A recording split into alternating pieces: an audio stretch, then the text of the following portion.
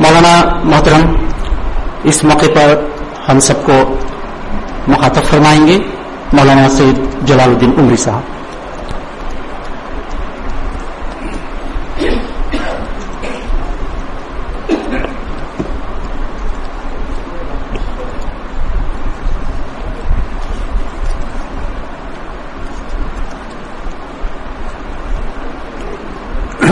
بسم الله الرحمن الرحيم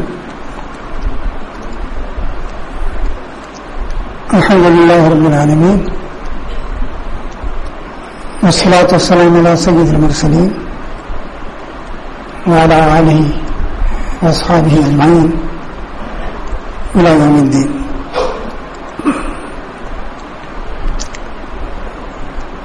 برادران الإسلام،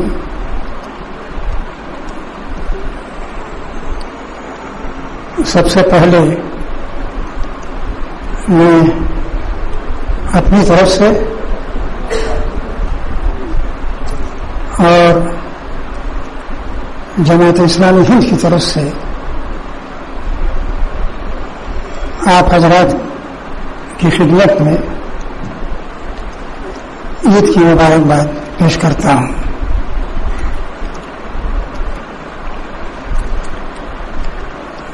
میں اپنے غیر مسلم بھائیوں کا بھی شکر گزار ہوں کہ وہ خوشی کے اس موقع پر ہمارے ساتھ موجود ہیں۔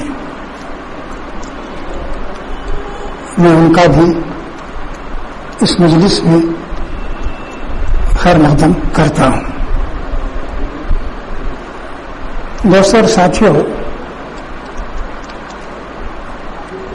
ہم عید منا رہے ہیں، لیکن فطری طور پر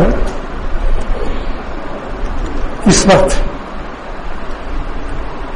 ہمارے وہ بھائی یاد آ رہے ہیں، جن کا فسادات میں جانی اور مالی نقصان ہوا ہے۔ چاہے وہ اتر پردیش میں ہو یا راجستھان میں ہو، مہاراشٹر میں ہو، کرناٹک میں ہو یا کہیں بھی ہو۔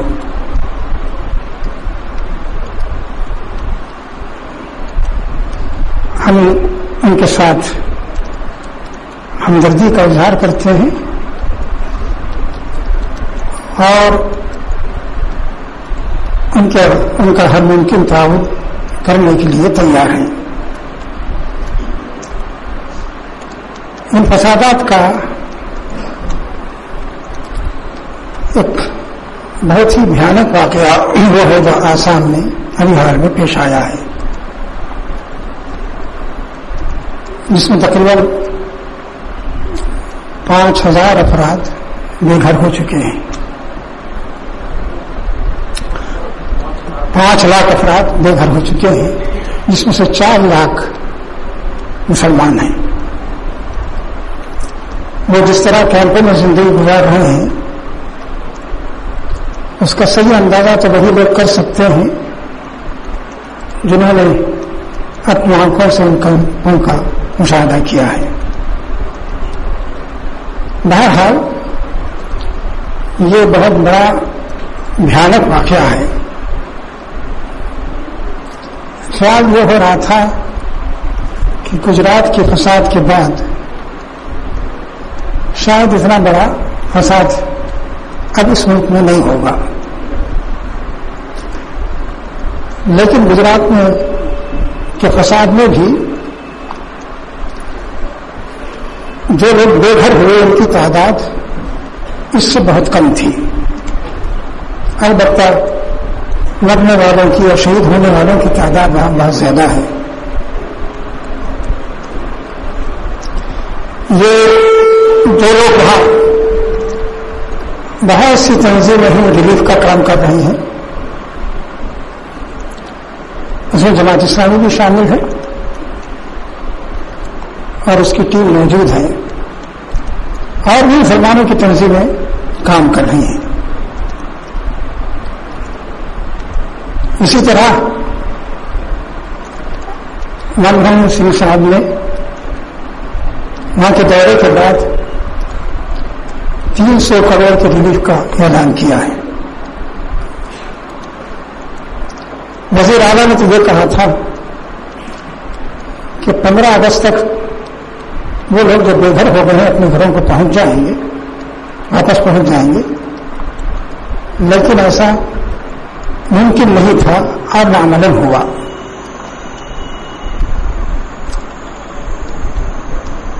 دراصل لوگوں کی جان، مال، عزت، آبرو اس کی حفاظت کی ذمہ داری حکومت کی ہے۔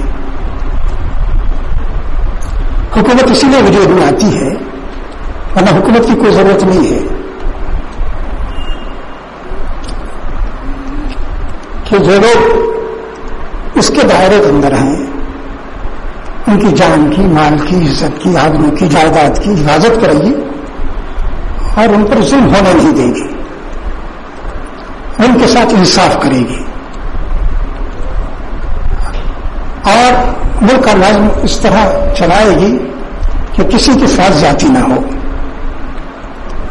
اگر یہ باتیں نہ ہوں تو کسی حکومت ہی کی ضرورت نہیں ہے۔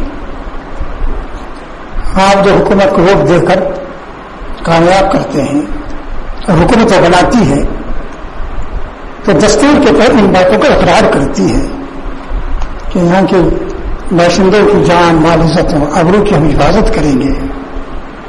ان کی جائیداد کا کا تحفظ کریں گے، ان کی پراپرٹی کا تحفظ کریں گے، ان پر کسی قسم کا ظلم ہونے نہیں دیں گے۔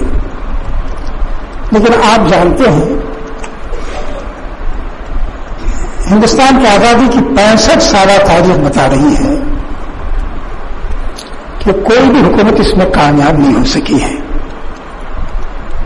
یہ بڑا بھیانک واقعہ ہے۔ دعویٰ تو سبھی نے کیا، حکومتیں بدلی مرکز میں بدلی، ریاستوں میں بدلی۔ لیکن شاید کوئی بھی حکومت ایسی نہیں ہے۔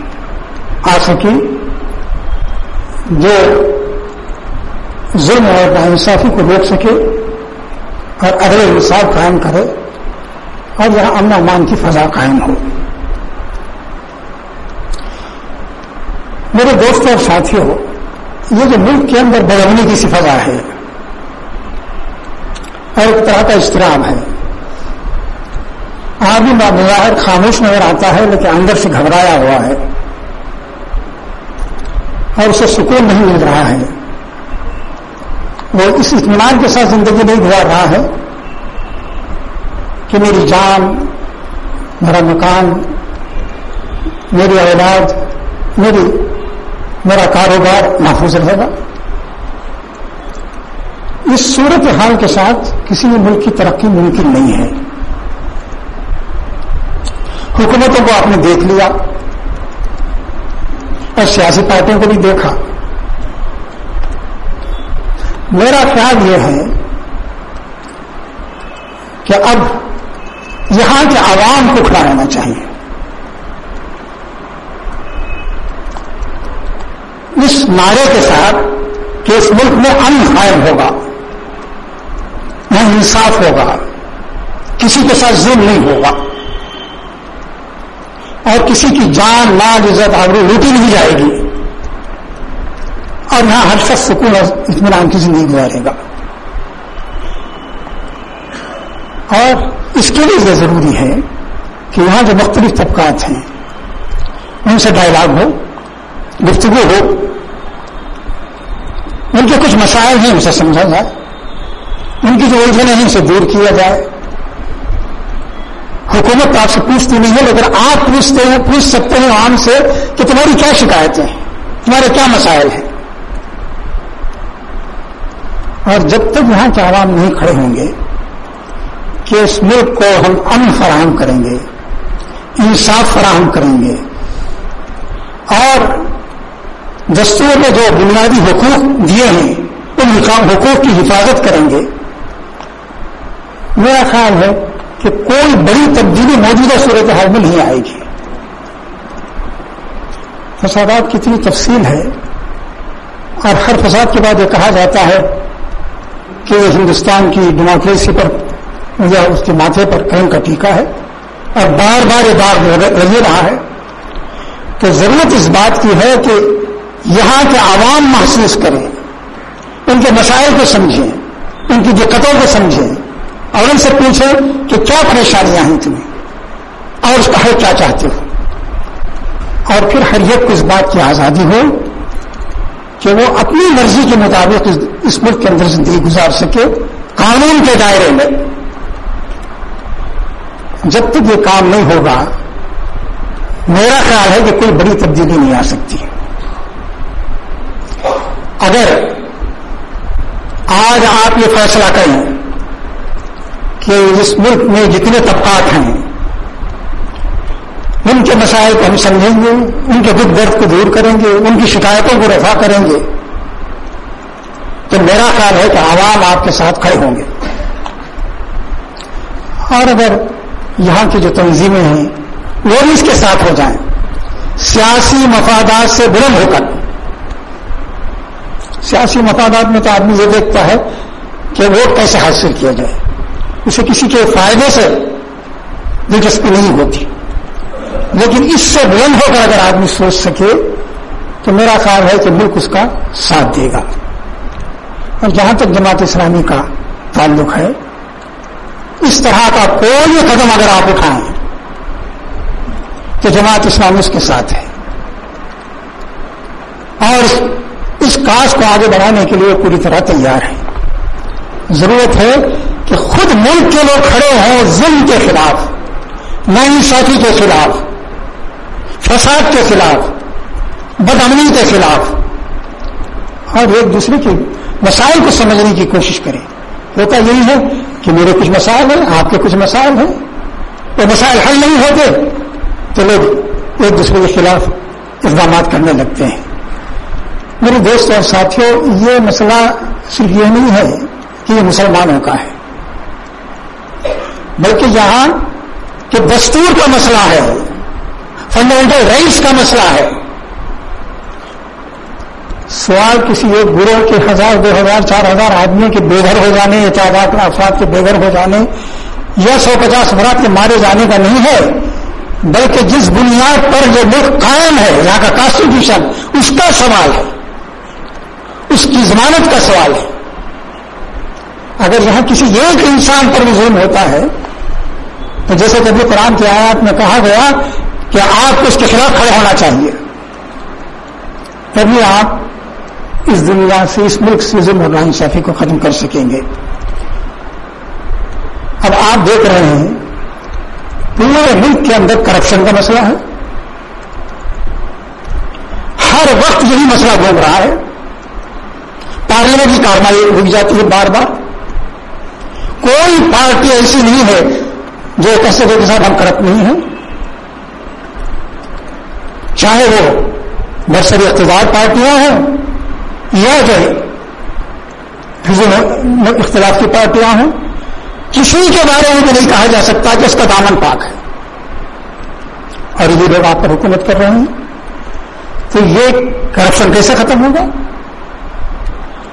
جبکہ ہر شخص اس کے سامنے یہ ہے کہ جس کا جتنا فائدہ، جس سے جتنا فائدہ اٹھایا جا سکتا اٹھائے۔ ہر آدمی اس سے حساب کر رہا ہے۔ جس کے پاس جتنی طاقت ہے، اتنا زیادہ استحصال کر رہا ہے۔ بڑا سرمایہ دار، بڑے پیمانے پر استحصال کر رہا ہے۔ چھوٹا سرمایہ دار، چھوٹے پیمانے پر استحصال کر رہا ہے۔ تو اس صورت حال میں ملک کی کے بارے میں ہم یہ سوچیں کہ یہاں سے کرپشن ختم ہو جائے گا، یہ ممکن نہیں ہے۔ یہ اسی وقت ممکن ہے جبکہ یہ احساس ہر ایک کے اندر جائے،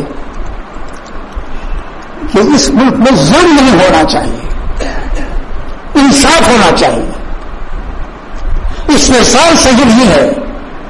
یہ بات غلط ہے کہ میں کسی کو غریب دیکھ کر اس کی صلاحیتوں سے فائدہ اٹھاؤں، کسی کو مجبور دیکھ کر اس سے فائدہ اٹھاؤں، بلکہ اس کا جو حق ہے اسے ملنا چاہیے۔ اس جذبے کے ساتھ جب تک آپ نہیں کھڑے ہوں گے، اس وقت تک یہ کرپشن ختم نہیں ہوگا۔ کرپشن کی یہ چیز شکل نہیں ہے، بہت سی شکلیں ہیں جو اس ملک کے اندر پھیلی ہوئی ہیں۔ اور جس پہ مقدمہ جاری ہیں۔ آپ جانتے ہیں کہ آدمی اس اطمینان کے ساتھ کام کرتا ہے، کہ اگر میں کرپٹ ہوں، تو مجھے اس سے کرب اس پر جو مقدمات ہیں ان سے نکلنے کی کیا صورت ہوگی؟ اور آدمی کے ذہن میں یہ بات بھی رہتی ہے کہ آدمی اگر جھوٹے مقدمات کے ذریعے پھنسایا گیا ہے، تو یہ جھوٹے مقدمات کے ذریعے بچ بھی سکتا ہے۔ کہ میرے دوست اور ساتھیوں، اس طرح اس ملک کا بھلا ہونے والا نہیں ہے۔ اسی طرح آپ دیکھ رہے ہیں کہ یہاں پورے ملک کے اندر کا اخلاقی بگاڑ ہے۔ اخلاقی بگاڑ کا مطلب یہ ہے کہ اخلاقی قدریں جن کو آپ سمجھتے تھے کہ یہ ان کے بغیر کوئی ملک صحیح معنی میں زندہ نہیں رہ سکتا، چل نہیں سکتا۔ وہ قدریں پامال ہو رہی ہیں۔ ماں باپ کا احترام ختم ہو رہا ہے۔ بڑوں کا احترام ختم ہو رہا ہے۔ چھوٹوں کے ساتھ جو محبت اور شفقت تھی وہ ختم ہو رہی ہے۔ اور خاندان کا رشتہ جسے بڑا مضبوط سمجھا جا رہا ہے، وہ بکھر رہا ہے۔ اور یہ بات اب عدالت کے ذریعے سامنے آ رہی ہے کہ نکاح وغیرہ ہے کیا چیز؟ شادی کا جو ادارہ ہے، نکاح کا، وہ تو آپ کا قائم کر لیا ہے لیکن بہت سے لوگ یہ کہتے ہیں کہ سرمایہ داروں کا قائم کرنے ادارہ ہے۔ اس کا انسان کی بھلائی سے کوئی تعلق نہیں ہے۔ اگر ایک لڑکا اور لڑکی اپنے آزادی کے ساتھ رہ رہے ہیں اس میں تمہارا کیا نقصان ہونے والا ہے؟ اس ملک کا کیا نقصان ہونے والا ہے؟ ان کو رہنے دو۔ اور کیا ضروری ہے کہ آپ کی آپ کے ہاں آ کے اندراج ہی کرائیں اس کا؟ تو اس کا نتیجہ یہ ہے کہ اب لڑکے اور لڑکیاں پوری طرح آزاد ہیں۔ اور اس کے جو نتائج ہیں وہ آپ دیکھ رہے ہیں۔ بلکہ بہت سی شادیاں تو اس طرح ہو رہی ہیں کہ ماں باپ کو بہت دیر میں اس کا علم ہوتا ہے۔ تو یہ جو صورت حال ہے، یہ بڑی بھیانک صورت حال ہے۔ اس سے بھیانک بات یہ ہے کہ اس کا کسی کو احساس نہیں ہے۔ لوگ یہ سمجھ رہے ہیں کہ زنا اور بدکاری کیا چیز ہے؟ یہ پرانی باتیں ہیں۔ آپ کے قاعدے کے تحت کسی نے اگر جنسی تعلق رکھا تو اسے کہتے ہیں صحیح ہے۔ اس سے آزاد ہو کر اس نے تعلق قائم کیا تو کہتے ہیں غلط ہے۔ تو یہ قدریں پامال ہو چکی ہیں۔ آپ کے قاعدے کے تحت کوئی بچہ پیدا ہوتا تو کہتے ہیں کہ جائز بچہ ہے۔ اور ہمارے قاعدے کے تحت کوئی بچہ پیدا ہوتا ہے تو کہتے ہیں کہ ناجائز ہے یہ صحیح نہیں ہے۔ تو ظاہر ہے کہ اس صورت حال میں آپ اس کی توقع کریں کہ بڑوں کا احترام ہوگا، خاندان باقی رہے گا، تو یہ ممکن نہیں ہے۔ افسوس کی بات یہ ہے کہ اس کے خلاف کوئی آواز نہیں اٹھ رہی ہے۔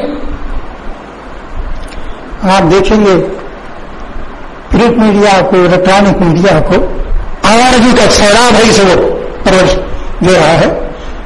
بھولے بھٹکے ہزاروں میں کوئی آواز اٹھتی ہے تو سب یہ طریقہ صحیح نہیں ہے۔ اور جب جاتی ہے۔ اخبار والوں سے کہیں تو وہ کہتے ہیں کہ سب اس کے بغیر اخبار نہیں چلے گا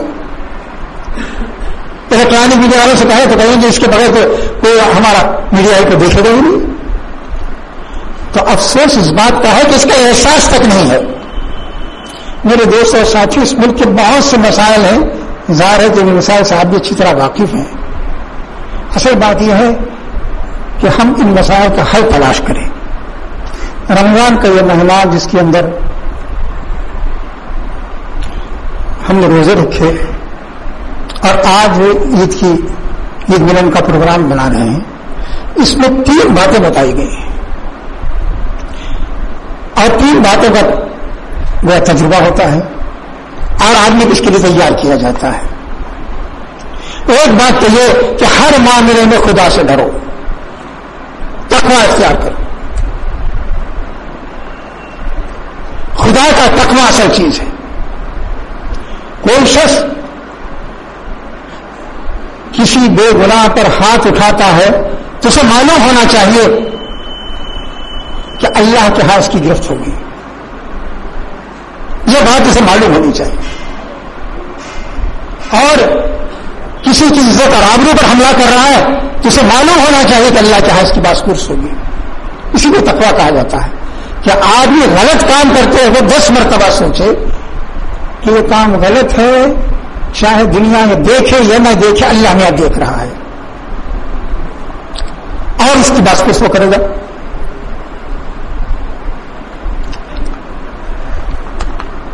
یہی وہ چیز ہے جسے قرآن تقوا کہتا ہے کہ یہ تقوا پیدا کرنی چاہیے۔ تو رمضان کے مہینے میں اس بات کی کوشش کی جاتی ہے کہ مسلمان کے اندر یہ جذبہ بیدار ہو کہ خدا ہے وہ دیکھ رہا ہے اور اس کے بغیر کوئی تحریک، کرپشن کو، اخلاقی بگاڑ کو، فساد کو دور نہیں کر سکتی۔ اللہ کی تحریک اٹھی اور اس کا حشر بھی آپ نے دیکھ لیا اور خدا جانے کی بھی تحریک ایسے اٹھے گی۔ کیوں کسی آدمی کے استحصال سے آدمی بچے۔ قرآن کہتا ہے کہ اس کے لیے ضروری ہے کہ خدا کا ڈر ڈر اور خوف تمہارے اندر ہو۔ دوسری بات جس کی تعلیم دی جاتی ہے روزے میں، وہ یہ ہے کہ آدمی غلط کام کرتا ہے اس وقت جبکہ آدمی اپنی خواہش کے پیچھے چلتا ہے۔ مال کی خواہش، جنسی خواہش کھانے پینے اور عائش کرنے کی خواہش۔ یہی چیز ہے جو آدمی کو دوبارہ میں مبتلا کرتی ہے۔ روزہ اس بات کی تعلیم دیتا ہے کہ ان خواہشات پر کنٹرول کرو، تب معاشرے کا بھلا ہوگا۔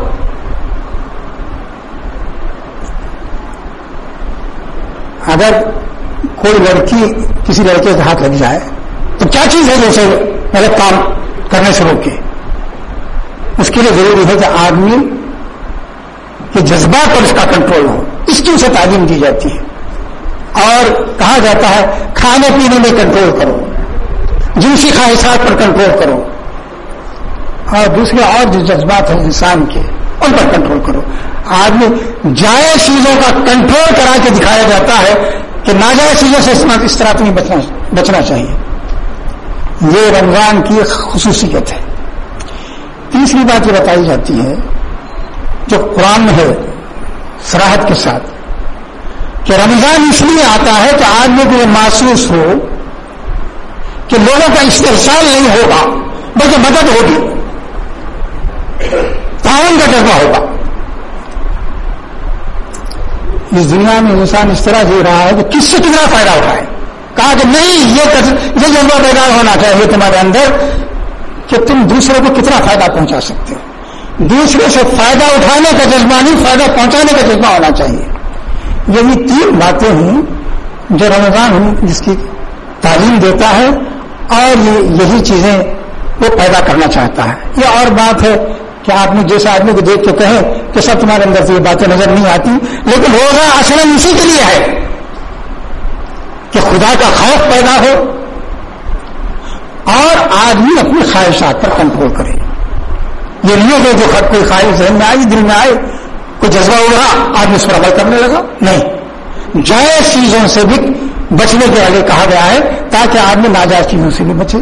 اور تیسری چیز یہی کہ آدمی انسانوں کا ہمدرد ہو۔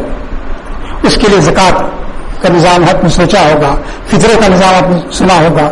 یہ سب اسی لیے ہے کہ آدمی یہ محسوس کرے کہ مجھے دوسروں سے فائدہ نہیں اٹھانا ہے، دوسروں کو فائدہ پہنچانا ہے۔ میرے بزرگ اور دوست ہو ضرورت اسی بات کی ہے کہ اسلام کی یہ جو تعلیم ہے اور جماعت اسلام یہی چاہتی ہے کہ لوگوں کے سامنے یہ بات آئے، اس ملک کے مسائل کا کوئی حل نہیں ہے۔ سوائے اس کے کہ آدمی کے دل میں خدا کا خوف پیدا ہو۔ اور وہ طے کرے کہ اللہ کی ہدایت کے مطابق انہیں زندگی گزارنی ہے۔ اس کے علاوہ کوئی صورت نہیں ہے، کوئی قانون کوئی تحریک، کوئی سیاسی مورچہ انسان کو بدل نہیں سکتا۔ انسان کو بدل سکتا ہے خدا کا خوف۔ اسے اگر یہ معلوم ہو کہ یہ غلط کام کروں گا تو پکڑا جاؤں گا، چاہے دنیا دیکھے یا نہ دیکھے۔